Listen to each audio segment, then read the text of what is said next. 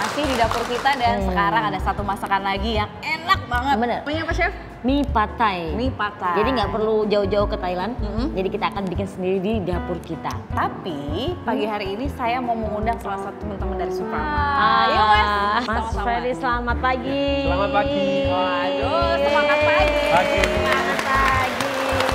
Ternyata ya chef, di Suprama ada yang ganteng juga ya. Ah gitu ya. Alhamdulillah. Pernah makan patai? Belum pernah sih. Nah, hari Oke, ini kita sekarang akan kita- masak dan langsung akan mencicipi ya. Siapkan sausnya dulu. Ah, saya mau tanya dulu.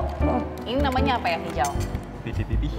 Hei, baby pipi langsung ya. Eh, Ini berapa yang digunakan chef? langsung satu bungkus. Satu bungkus? dua keping, direbus jadinya. Seperti ini. Oke. Kita akan bikin sausnya dulu. Apa aja yang harus Itu dicampurkan? kita larutkan dulu asam dengan air kaldu. Bisa Mas Ferdi? Bisa? Kalau aja. Coba dulu ya. Terus nanti kita tambahkan kecap ikan. Jadinya enak nih ya, Mm-mm. seger gitu. Apalagi ada pedes-pedesnya kita kasih ini cabai bubuk. Soy sauce, ada merica, dan manisnya kita pakai gula palem. Diaduk sampai rata. Kita sisihkan yang ini, kita akan bikin mie-nya. Nah kita akan masak ini mie patainya, panaskan minyaknya dulu. Kita yang ambil bawang putih yang sudah dicincang dan ini saya ada daun bawang. Daun bawang itu ada bagian putih dan bagian Hijau. hijaunya. Bedanya apa chef? Kalau yang putih itu ada aromanya masih lebih Manis-manis. tajam daripada yang Bisa. bagian hijaunya. Kalau hijaunya kan biasanya untuk pemanisnya saja ya. Kalau ini lebih tajam kita nanti bisa tumis. Ini ada juga yang pakai kucai, tapi kok saya lebih suka dengan daun bawang kita bisa ambil bagian putihnya. Kalau kucai kan kebanyakan cuma Hijau. daunnya aja yang Iya. diambil ya. Yuk masukin. Ya. Di daun bawang yang bagian putih, jahe. Yang sudah dihaluskan ya chef? Ya. Apalagi chef? Ntar ini sampai dulu berubah warna dan aromanya langsung Aroma jahenya Hmm, kerasa jahe kerasa. Jadi enak ya. Kita siapkan ini Ayam. ayam cincangnya. cincang halus ya. Nah, jadi kita masukkan sis. Ini kita masak sampai berubah. Chef, patah itu kan nggak cuma ayam ya? Ada udangnya juga, tapi udangnya kita masukkan agak akhir karena kalau masak seafood itu jangan terlalu lama. Bisa Jadi kenyal iya, kalau kenyalnya mie burung dara enak ya. Kalau kenyalnya karet gimana? Enak. Lama ngunyahnya. Kenapa kenyalnya? Boleh dibantu. Telur dikocok. Oh, telur. Bisa mulai dimasukkan saya? Boleh masukin ya telurnya. Hmm, Terus sambil diaduk. Setelah itu sensasi pedasnya juga kita masukkan, ada cabenya. Ini tunggu sampai agak sedikit berbutir. Coklatan juga. Ya. Oke, boleh dimasukkan udangnya. Tunggu berubah warna. Soy sauce atau kecap sih? Daun ketumbarnya boleh disobek-sobek. Biar ada aromanya keluar. Oke, gula garam habis itu. Oke, garam.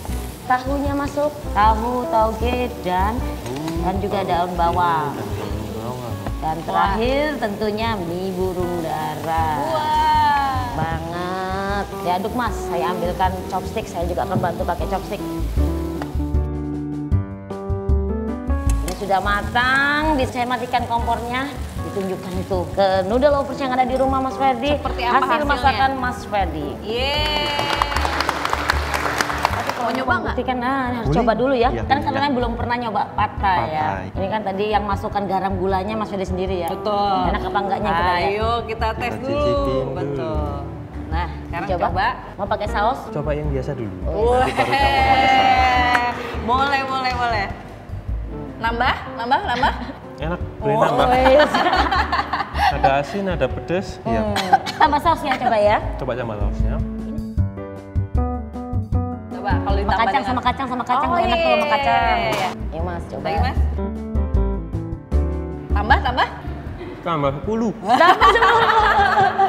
Oke. Sip ya. Oke. Oke, sekarang saatnya kita langsung menata dulu di eh, piring saji supaya kita bisa menyajikan yang lebih cantik lagi. Oke. Kita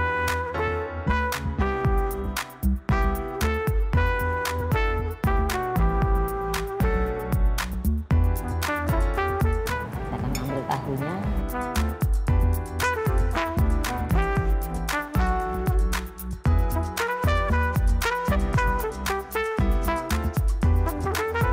Kita taburin dengan Kacang. kacang. Jeruk nipis, terus sausnya. Dan saus. Wah. Nah, ini sudah jadi. Saya mau kasih Mas Ferdi. Terima kasih, Chef. Ya. Ini dia persembahan dapur kita untuk noodle lovers. Mie patai dari mie burung darah.